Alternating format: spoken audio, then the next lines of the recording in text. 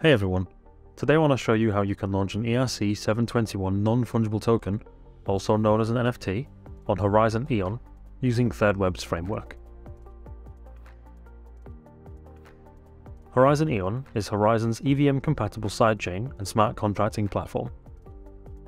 You can build or integrate any Ethereum-based dApps very easily onto Eon. The Eon platform comes with a set of developer tools and is also supported by third-party tools such as ThirdWeb to make your development process even more streamlined and easier.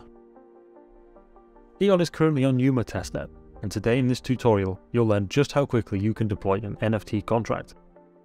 First of all, connect your Web3 wallet to the ThirdWeb website.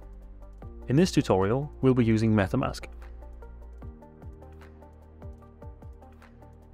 Then you'll need to connect to Horizen Yuma testnet. Go to Configure Networks and search for Horizen Yuma testnet, and then add network. Make sure that Yuma testnet is selected. Now we need some test tokens. Go to Request Testnet Funds. It will take you to the Yuma Test token faucet.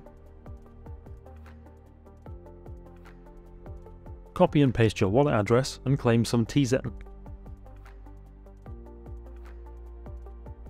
Go back to ThirdWeb and choose their NFT collection contract.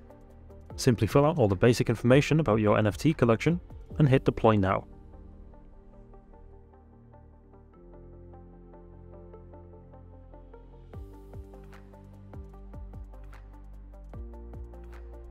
Wait for a short moment. Your wallet will prompt you three times to sign transactions.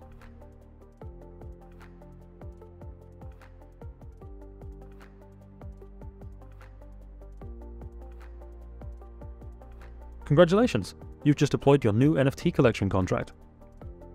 Head to the contract page, and there you will find the NFT you have just created.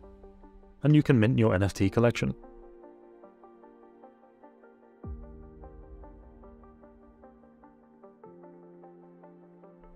You'll need to provide the metadata for each NFT.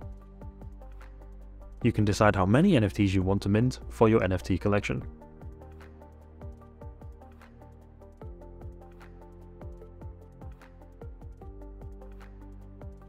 And that's it.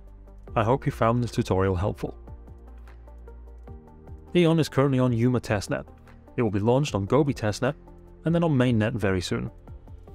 Make sure you're following Horizen for all the latest updates.